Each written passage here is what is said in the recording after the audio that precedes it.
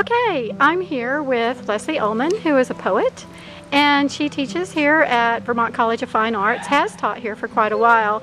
She is in the Master of Fine Arts in Creative Writing. And so I've invited her here to say hello, and um, in a minute I'm going to ask her to do something really special. But first, um, Leslie had taught at U University of Texas in El Paso for a very long time, and she retired about how long ago?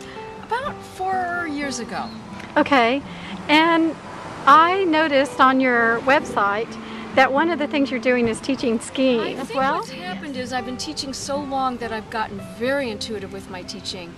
And then when I started teaching skiing, I didn't have that strength, but it's starting to come back. And, Mm-hmm. Wow. And so I feel that the teaching is now informing the way I teach skiing, which, you know, I'm not as, some of these people have been teaching for 30 years.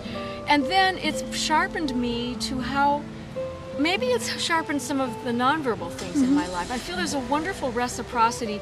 And what I talked about in my lecture this time, I've never talked about this here, but I really see a reciprocity between the things we've mastered and the things we're being apprentices in. Uh-huh. And how there's a circular thing that goes on that's very good for us. And I really feel that all of us are interdisciplinary beings if, if we're willing to acknowledge it. And I said in my lecture, I said, I'm making myself talk about this because I used to hide it.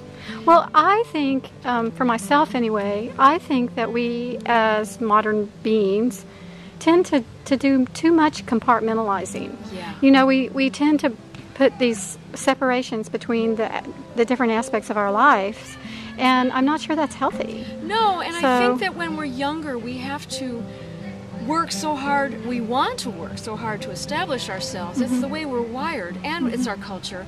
And now that I'm older, I'm older, but I'm not falling apart. and, and no, you're like, clearly not falling apart. it's like I'm, I still have the, I have all the benefit of the experiences I've had, Mm-hmm. and I'm more willing to take chances.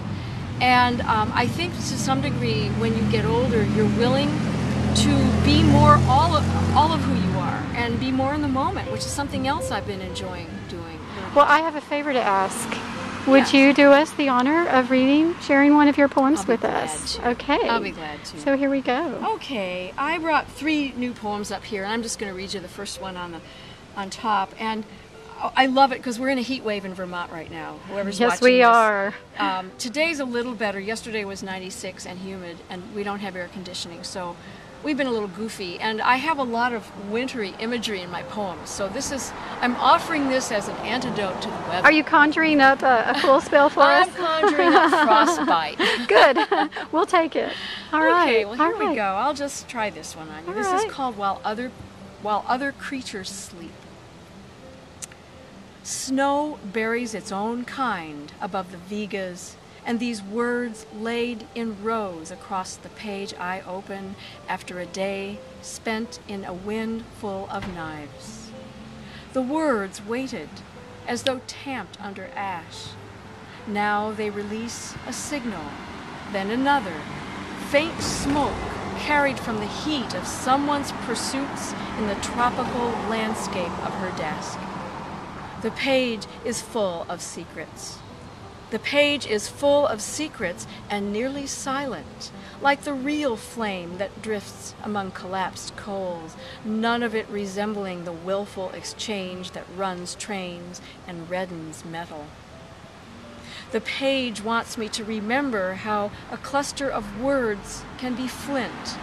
After one has lived a day in blowing snow, it's one vowel and mindless reversals. I want to chew these words, then make up something that turns out to be true.